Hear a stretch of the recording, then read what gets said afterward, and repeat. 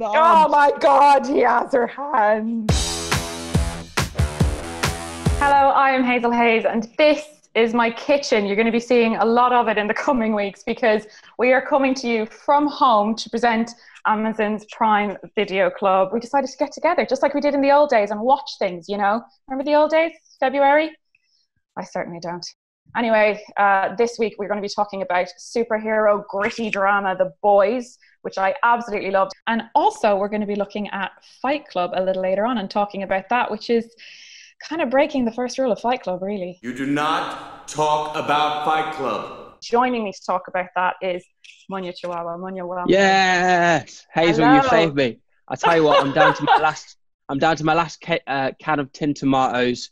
Oh, I've man. memorized every word to all seven Trek films.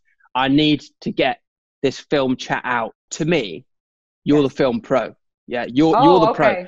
I'm the kind of like I'm just dipping my toe in here and there. You know, like I know you've watched every episode back to front. You've read the source material. That's a lot of pressure calling me the, the film buff here and giving me, giving me all that trivia. Yeah, but you to, are though because I've everything. seen. I thought, you know, let me have a look. Let me have a look at Hazel's YouTube channel. I'm seeing Saoirse Ronan. I'm seeing all these BAFTA Oscar-winning actors, and I'm here thinking, like, Yeah. I've just interviewed my plant this morning. You know, so I feel like you are the right person to have in the steering wheel. Oh, bless you. Well, I'll tell you what, I think we'll make a good team in that case.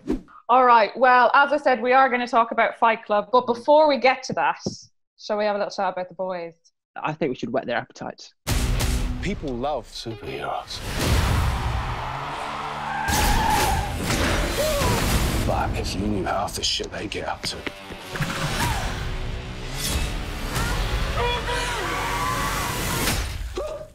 First episode of The Boys. Now, I thought this was going to be a heartwarming tale about two best friends who, you know, had a dog growing up together. Absolutely not. I'm seeing gore.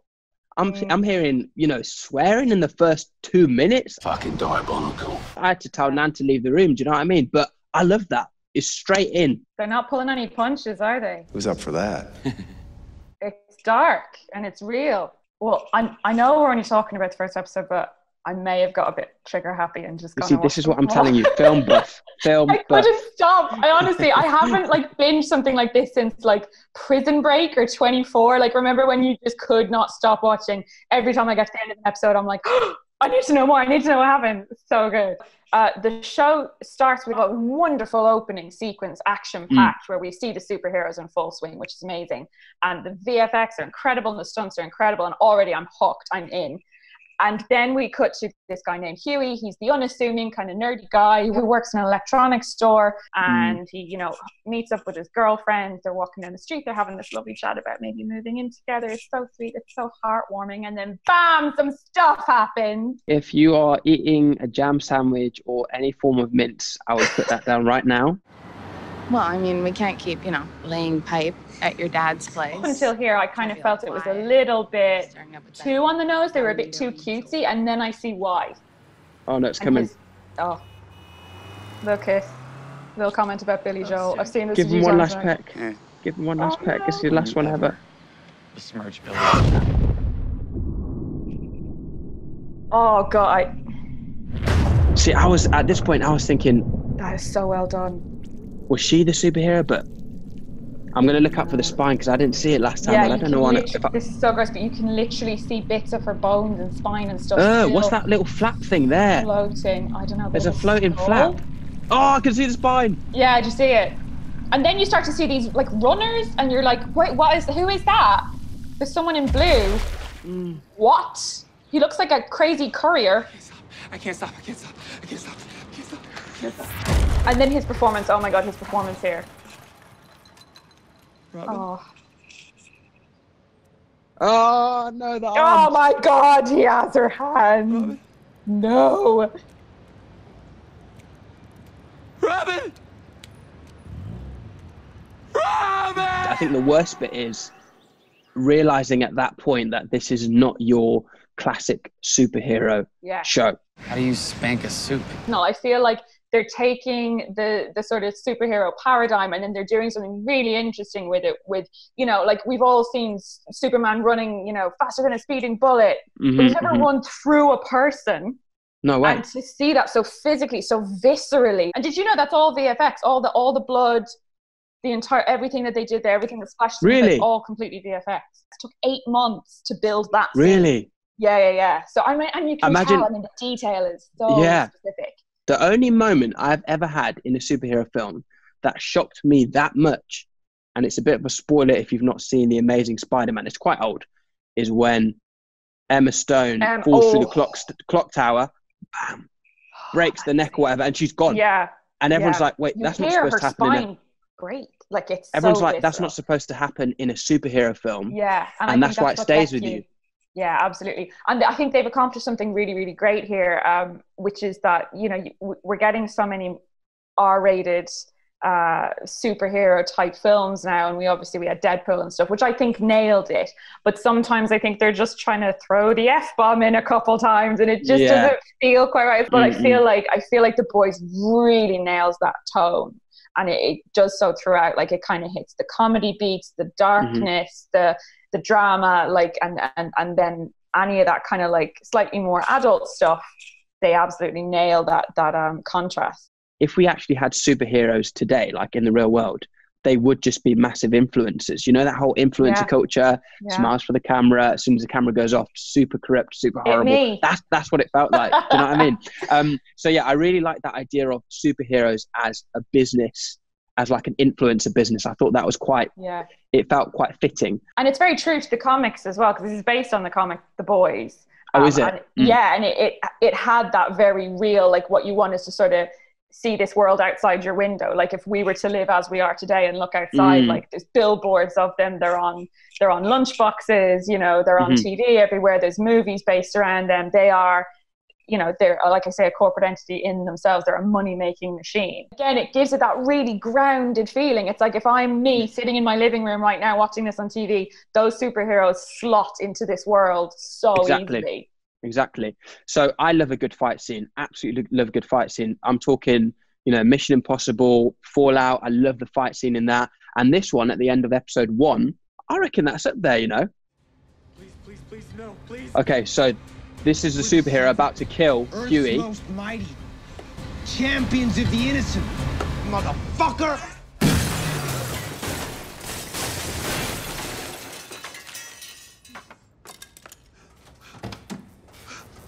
Sorry about this.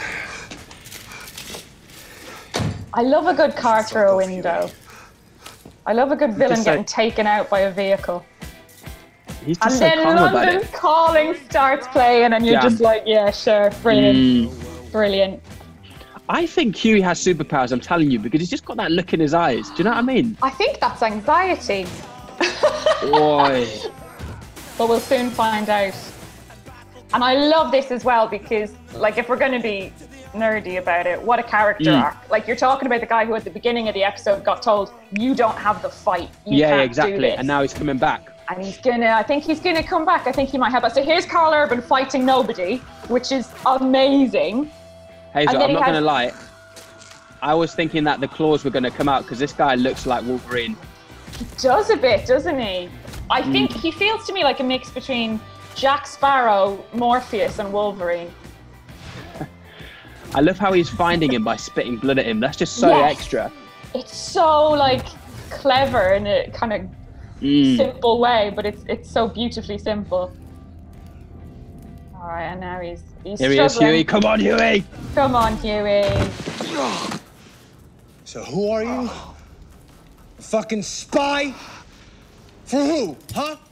This is great. See, The CGI is amazing. There's the, the it's VFX. really like even the way he's kicking the glass on the floor and everything like the attention Mm. to detail is and he's got a crowbar oh god no Come on, Huey. This is your moment, mate. It's your time to shine huey Forget Superman. Forget Captain America. It's all about Huey. Huey from the TV store. nerdy nerd boy oh no Ah. You and I love this little theme tune. We get this little theme every time Huey's about to do something a little bit heroic. Oh no! Electrocuted in the bottom. We've all been there. He's got a very Oh. peachy bump for an invisible man, i got to say. quite peachy, quite peachy. I hadn't noticed that myself, Mod- obviously. model this character after me. So they had to film this a bunch of different ways. They had a guy in a suit uh, sort of Andy Serkis style, uh, actually doing the fight in the suit. But then they had Karl Urban recreate the whole choreography without anyone there. And just imagine this poor guy fighting nobody, and then they have to see Nothing me for the last few weeks. just fighting yourself. there's a lot of action and it's wonderful, but there's also there's some great drama in there. I mean, you've got some mm. big hitters in terms of the cast that they've got involved. We've got Simon Pegg, as you saw there. We had uh, Karl Urban, a wonderful chameleon of an actor. What do I look like? Like you're starring in a porn version of The Matrix. Elizabeth Shue is playing uh, Madeline Stillwell, who's like the big bad boss lady.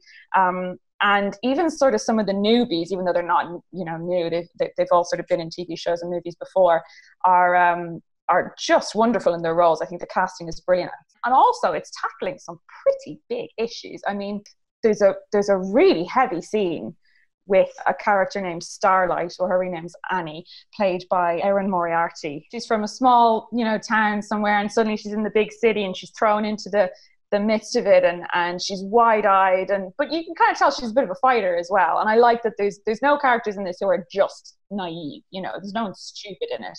Um, but she's uh, being shown around the the new digs by uh, one of the superheroes named uh, the deep mm. and next thing she turns around and uh, she's found herself in a bit of a weinstein moment with this guy. Or we come together as a team. You and me just roll with the punches for like three minutes, maybe. It's not a big deal. And then you know what happens? All your dreams come true. We've said before that, that it already feels like they're drawing on influencer culture, and you're like, okay, cool, tick, that's quite a modern day reference. And then it's almost like seeing the Me Too movement creep through into the superhero world as well. So it just it just feels very, even though the comics I'm guessing were written, you know, a while back, it does mm. feel very 2020 and beyond. Yeah. It feels know? very topical and, and it handled really well. Like I, I, having just watched stuff like Bombshell and The Morning Show that takes that topic and handles it really, really well. I think, um, mm. like sensitively, but also doesn't pull any punches. Um, I felt like that watching this as well. You know, it's not gratuitous, but you certainly feel uncomfortable. Yeah. Also, so one of the first times that we've really seen.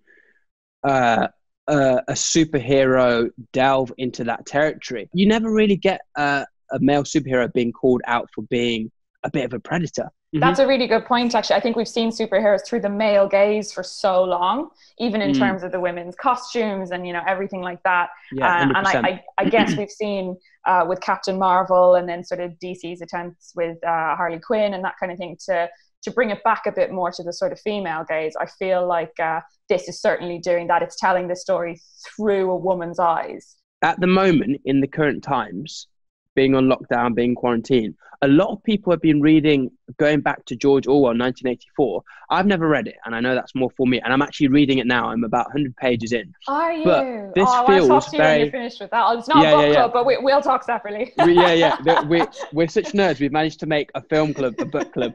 But um, you know, it's very. This feels very Orwellian in, in the sense mm. that you know, superheroes, everything you know about them is completely controlled by um, you know, by the press. They have a press team to yeah. make sure nothing happens untoward. Even when A Train eventually says sorry to uh, to Huey, yeah. it's like a scripted apology. It's like, just so you know, before he says sorry, nothing he says can be held accountable in the court of law or stuff like that. It's like, whoa, yeah. that's not how you say sorry. I think they've handled that really well. And like Simon Pegg's character is a good, like, it's, it's a good way to get that exposition across that, like, we live in a world where people just see, you know, the superheroes are up there, we're down here, we're just mere mortals that's how it is and we just accept mm-hmm. that and you even like what you're saying about the orwellian stuff like when in that scene i was talking about where starlight meets the deep and she's getting shown around the hq and they're literally telling her about the satellites they have in the sky that could read a license plate from you know miles away. Um, mm-hmm. so we're already getting the sense of this sort of surveillance culture and the idea yeah, that the big brother. have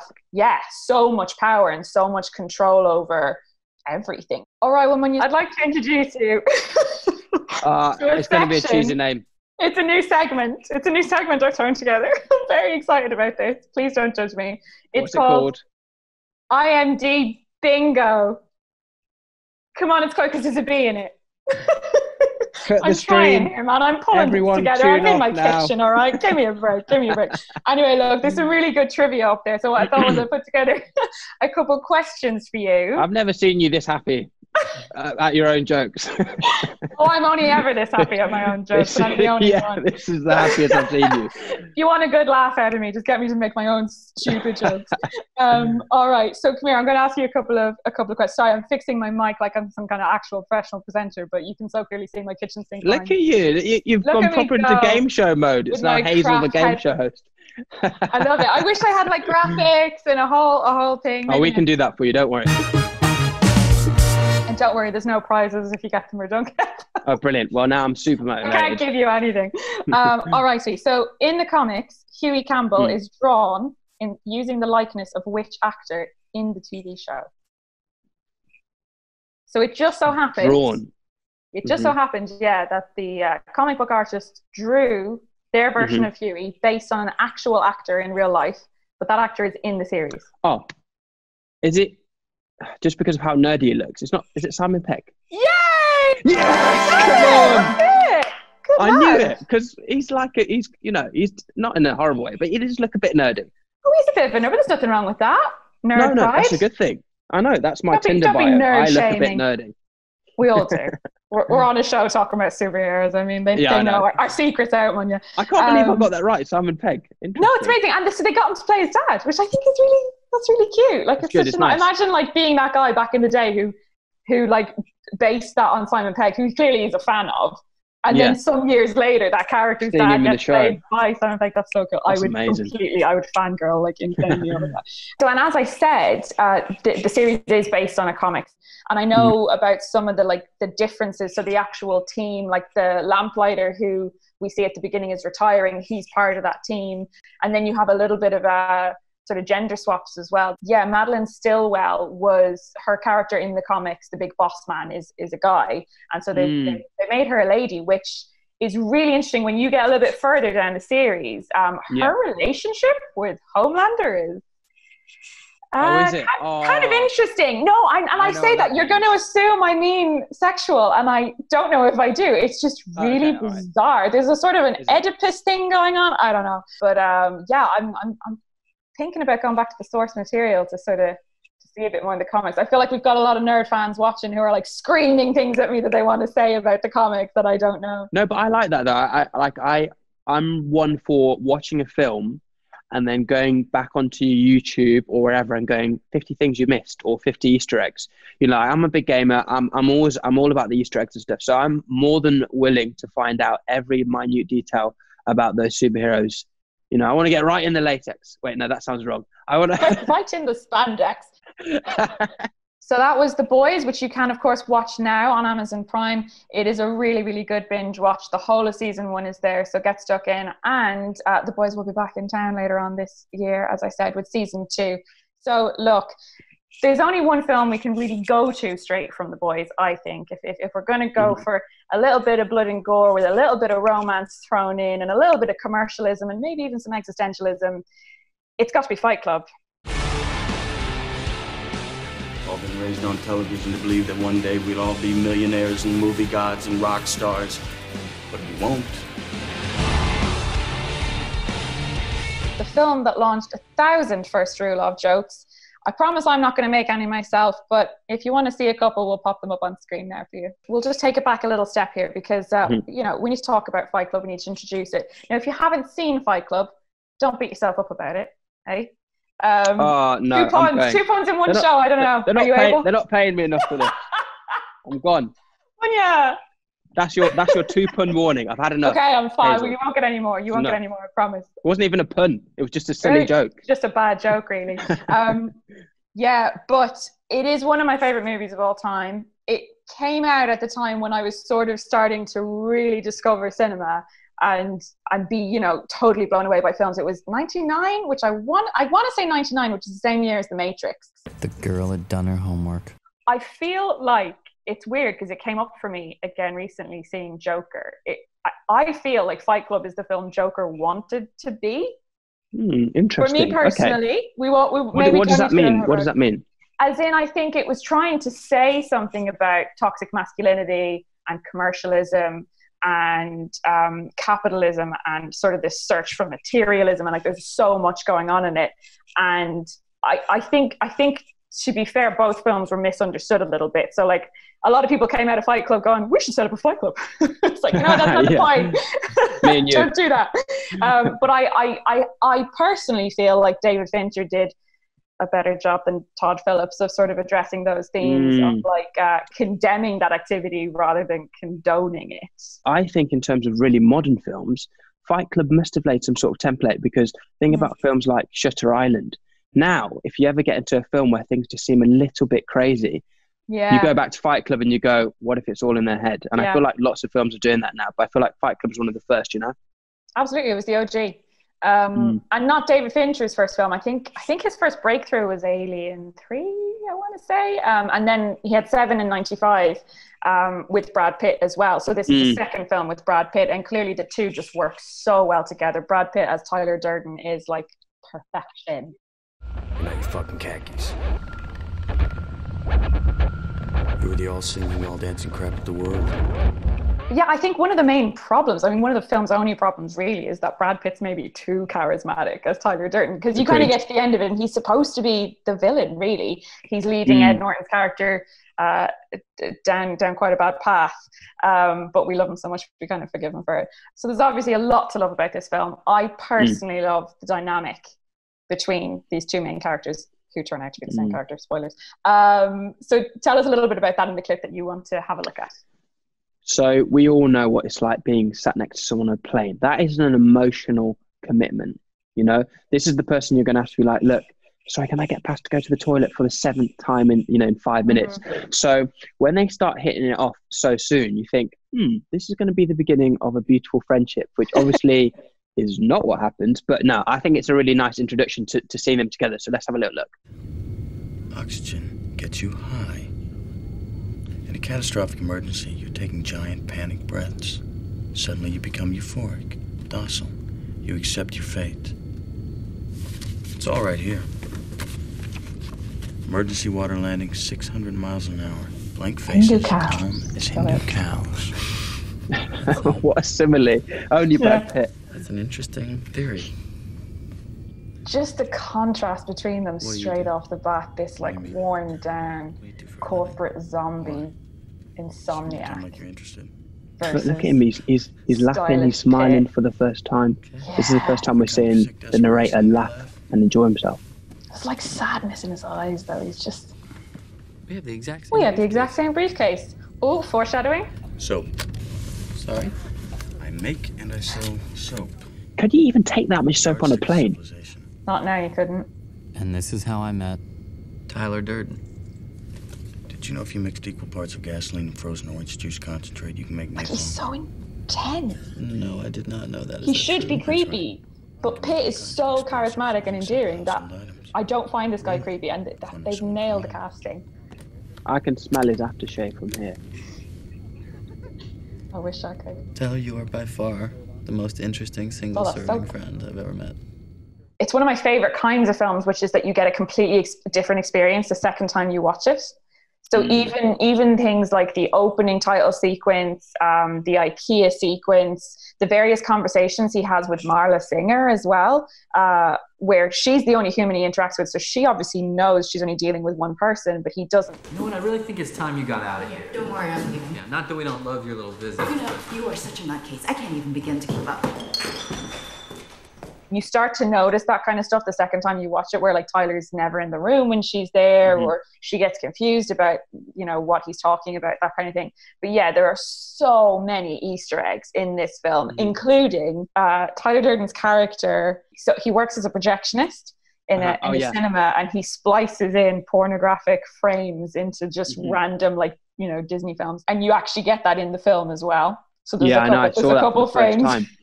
also, also, um, we we kind of told a lie because because we said that this is the first time you see Tyler. Mm, I didn't know until I watched this the second time that he flashes up yes for a split Yeah. second all the way up until that flight. Yeah, so there's that. And then, of course, there's actually the scene that, that I'd love to talk about, which is the very first time they fight. Um, which I mean is kind of it's kind of saying a lot about the entire film because every time they fight, he is effectively fighting himself. And then you have a scene later on where Ed Norton does physically fighting himself. Um, but this very very first scene where they fight, where uh, Tyler introduces them to the idea of Fight Club to a degree. Um, is is him punching Brad Pitt in the ear for real, by the way, because Fincher pulled him aside before the scene and said, "Actually, hit him in the ear." So you see Ed Norton kind of Oh. laughing after it. But um, yeah, it's a good little, it's a good little, it's a great scene. And then also when you, again when you watch it back, you're realizing this guy's just hitting himself, you know. Mm. Uh, so yeah, let's take a look at that one. So come on, hit me before I lose my nerve. Oh, God, this is crazy. So go crazy. Let her rip. Hey, I don't know about this. I don't need it. but Who gives a shit? Now that I, you've told me he was instructed to punch him in the ear for real, I'm, I'm excited to see it again. That's right. What, like in the face? Surprise me. This is so fucking stupid. And his first punch is so crap as well. I love I, it. I need. Is this the one? Yeah. He knows. And that reaction's real as well. Have Yeah, you ever been punched in the fully ear? real. Oh, Jesus, Fully real. I'm sorry. Why the ear, man? What a weird place to punch someone in the ear. so strange. It's like in the side of his head. Oh, I love that scene. I mean, it absolutely holds up in every respect. Like watching it back now, it still completely holds up from the from the themes to the special effects. Like everything in it, I think you could have released that this year, and there'd still be Mm. something kind of magical about it. Uh, and also, Brad Pitt hasn't aged, so I'd have believed it. All the ways you wish you could be. That's me. But yeah, like you're saying with the boys as well, it's that kind of similar uh, Orwellian kind of thing. There's definitely very similar themes running through uh, the both of these pieces about uh, consumerism and, and about how uh, how willing we are. And I think that's why that, that scene on the plane is so interesting. You know, when he's talking about these people are on a plane that is crashing. But they're being Mm. fed this oxygen that's just keeping them high. They're calm as Hindu cows, and it's saying so much about the state of the world, which you know it still is today, 20 years on. God damn it, an entire generation working jobs we hate so we can buy shit we don't need. Yeah, and and it's almost like a much better crafted purge film in the sense that in the purge, people are reverting back to this primal uh, disposition of attack in order to gain resources or to whatnot. Uh, and here, it's almost like as you go through the film and you realize how many people are in Fight Club, he gets taken into some sort of police station and he's in the room with the guys meant to be keeping there and they're like, we love what you're doing. And it's like, whoa, You're a genius, sir. You said if anyone ever interferes with Project Mayhem, even you, we gotta get his balls. if there were no rules, even the most upstanding citizens would revert back to that very primal very fight or flight thing. response. And it is scary. It is scary because it feels like, you know, it, there's there's some we're, we're all hiding something behind the mask. Yeah, to think what we're capable of. Yeah, it's really Mm. interesting. And like there, like there's that whole thing as well and. I think about like human connection, which again, quite topical right now. But that Jack Mm. is just so disconnected from other people and from humanity. And he gets this offer from Marla Singer, who, okay, she seems like a bit of a kook, but she's a real person who's really offering him a connection. And instead of taking that, he turns to this guy who's telling him to beat the shit out of other guys you know and it's, Mm. it's it's like i'd rather i'd rather take that kind of aggressive violent connection than this potentially tender intimate one that would be ultimately healthier for me so it's saying a lot there as well and i think um I feel like the boys is going to head in that direction a little bit as well, you know, with this kind of connection between Huey and Starlight and and various other characters in the show. It's like, are they gonna are they gonna do the right thing? Are they gonna choose the healthy path, Mm. or are they are they going to turn to violence and brutality? And you can kind of already see with Huey, he's making some choices uh, that we're not we're not Definitely. too sure if they're the best if they're in his best interest. So yeah, I think I think the two tie together well. This conversation This conversation is over. is over. All right. Well, I am. I'm so sorry. We have to stop there. We have been talking and talking endlessly, and I Ah. could keep going all day. I honestly could. These are both. Uh, this is a great show and a great movie that uh, we'll probably end up on the phone later talking about as well. But uh, for the moment, we will leave there. Next time, we'll be talking about Pan's Labyrinth, which is the perfect film if you like your fairy tales jaw-droppingly dark and your monsters with eyes in their hands. And we'll also be talking about the brand new show on Prime Video, Tales from the Loop. If you've not seen it yet, this is a powerful sci fi series about what happens in a town above what is called the Loop, which is a strange contraption built to unlock the mysteries of the universe and make possible things that were previously impossible. And before you ask, no, I'm sorry, it can't guarantee you an online delivery slot topical comedy there. Plenty more where that came from next time. Do be sure to join us then and subscribe so that you know when that is coming up. Okay, so don't forget to use the hashtag Prime Video Club if you're going to uh, tweet us or leave us any kind of message on social, and uh, we'll be sure to get through them and have a little chat about it next time. Thank you so much for doing this with me See today. you later, It's been guys. fun. Thanks. No, it's been up. It's been awesome. And look, listen, I'm coming for that title. Okay, you might be the film buff now. I'm going to be film buffer. Right next next words. time. Next time. See you then.